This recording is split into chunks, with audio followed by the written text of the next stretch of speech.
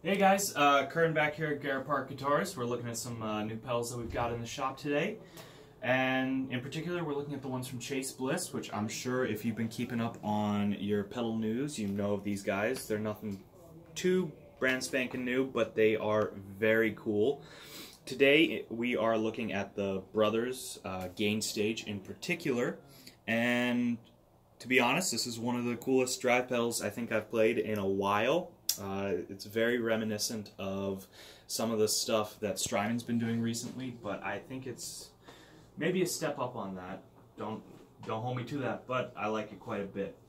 Uh, Chase Bliss has this really cool integration between analog and digital and all their pedals, and you know their drive pedal is no different. Uh, you have all of your MIDI expression stuff that uh, you can do through this little jack right here, and that's a whole lot of fun. You also have your presets on this switch here, and everything is controllable through uh, your expression, your CV. You can hook it up to a you know a CV uh, sequencer.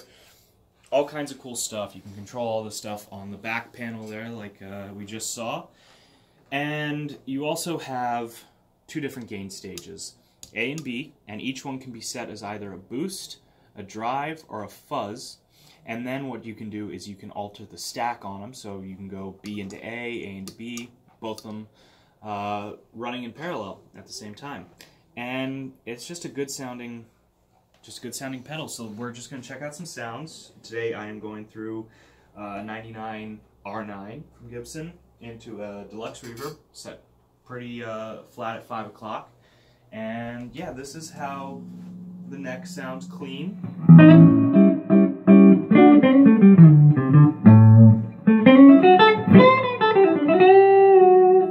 Very uh, spanky and crisp. And we're just going to start out on the A side, which I have set right now as the boost.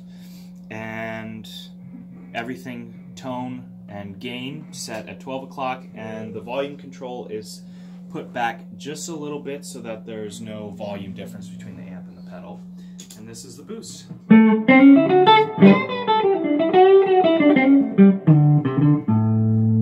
turn that up just to see how it responds.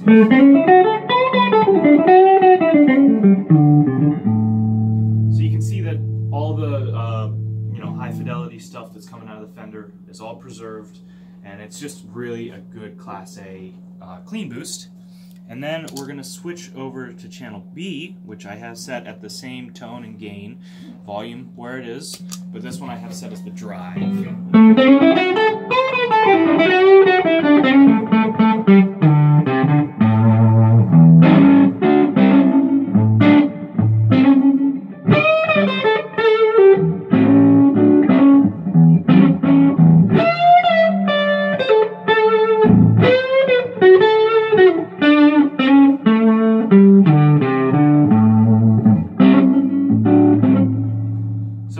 That is a really awesome drive sound. It reminds me a lot of my uh, Silver Klon at home, and I love that thing quite a bit. And then what we're going to do is just, with the same settings, I'm going to switch this over to the fuzz and see how that sounds.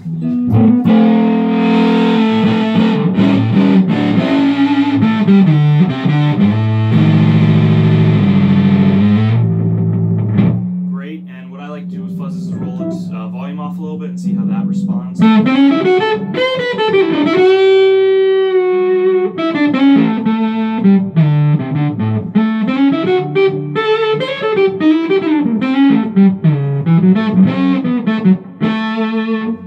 That too is a great sound. And I'm just going to switch this back to the drive and see how the, the two of them do together. So right now, we'll go A into B, which is the boost into the drive pedal.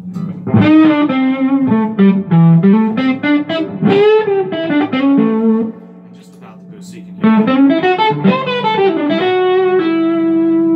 And then let's switch it over and have the drive go into the boost.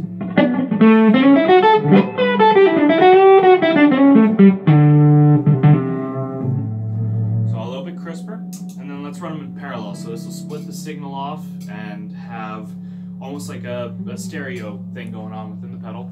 And